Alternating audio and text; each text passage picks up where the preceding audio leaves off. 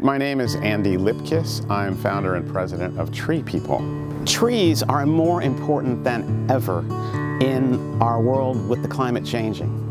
Trees do what we all know. They breathe in carbon dioxide, the climate change gas.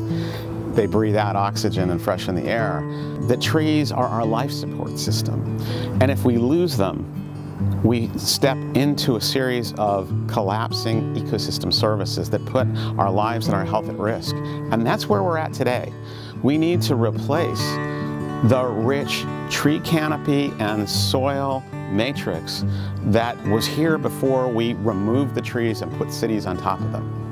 The brilliant thing today is that we can plant trees again and use them to create green infrastructure. They are our critical partner for climate resilience, climate survival, and climate mitigation.